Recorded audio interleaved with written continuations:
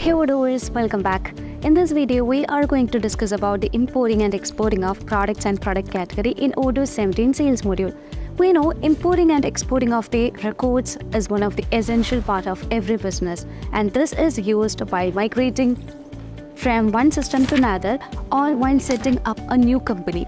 And importing and exporting of the records is essential to check the historic of the data or uh, to manage with the deep analysis of the data. So let's see how can we manage with the products and product category importing and exporting in Odoo 17.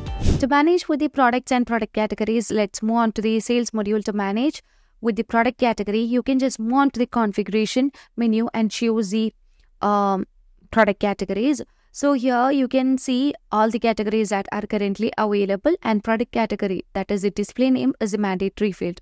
But here we also need to con uh, consider certain fields such as the account properties and account stock properties that is the income account and expense account of the uh, category as well as the stock valuation account, stock journal account, then stock input account and stock output account. So in such cases, um, we have to export certain fields um, to manage with all these uh, fields in the exporting and importing of the product categories. Let's move on to the product category and choose a category from here.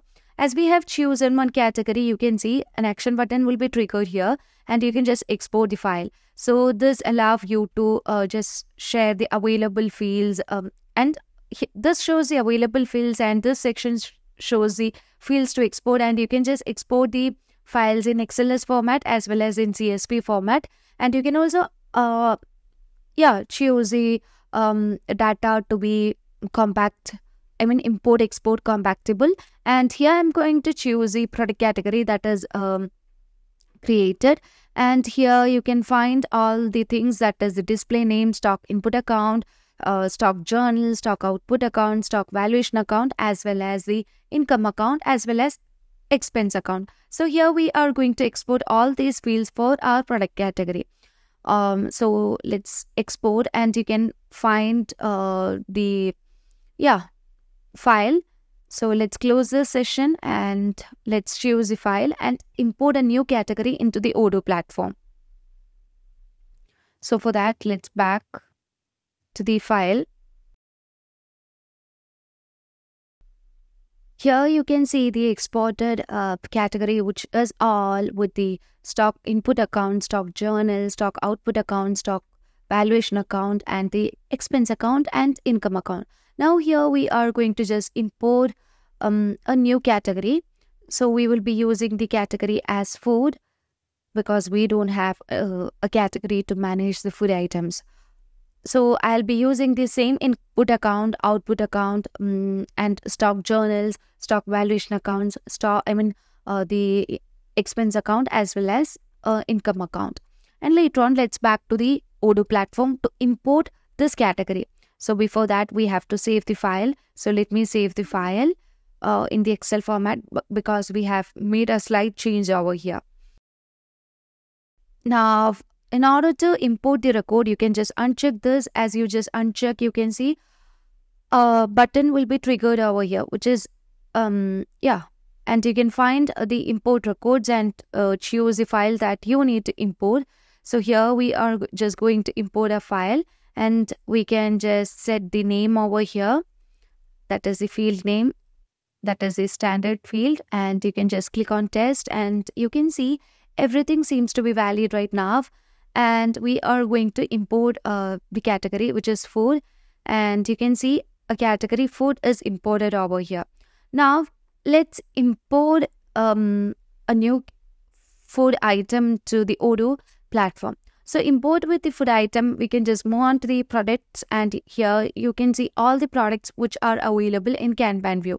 So as you need to import or export with um, a category, I mean uh, with a product, you can just make the view into list and choose one of the uh, product from here and you can just choose the action button and same as that of the product category we will be repeating these steps. So you can just click on export and this would allow you to manage with the uh, fields available and the fields to export. And here I have already defined a new template for the product and I'll be using that. And with the name of the product, uh, product type, invoicing policy, units of measure, product category and uh, product template uh, tags as well as sales price, um, cost and internal reference. So if you're not choosing the product category over here, then Odoo will use all as a default category for the product.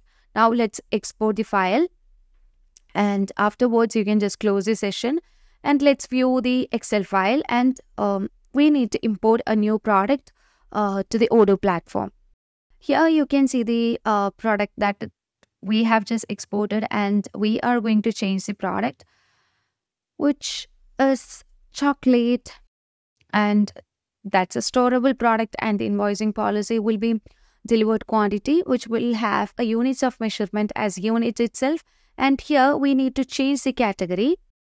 So you can just change the category over here and let me change that into food.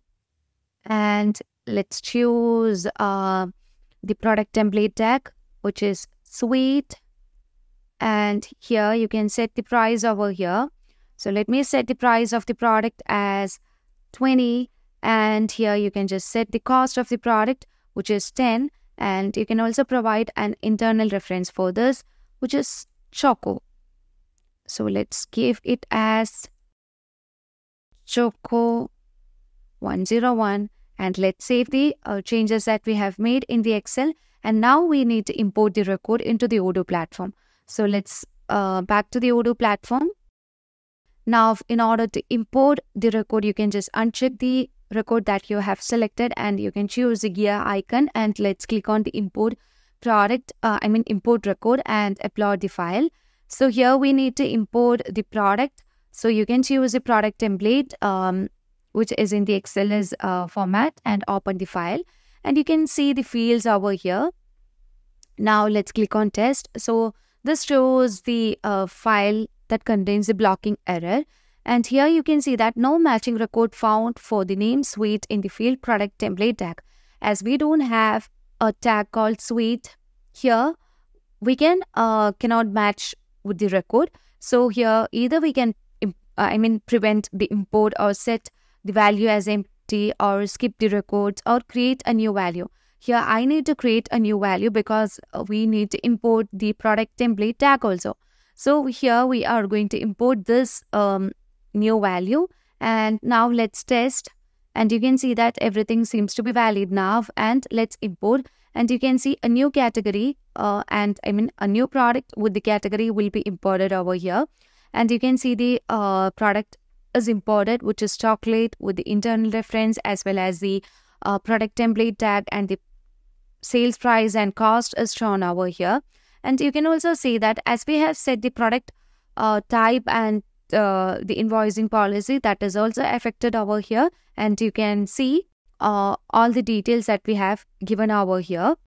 And uh, as we have set the product category as food, the category is applied as food over um, for the product chocolate. This process ensures the efficiency of data entry and also ensures the data accuracy. So hope this concept is clear for you as always. Stay awesome and thank you for watching the video.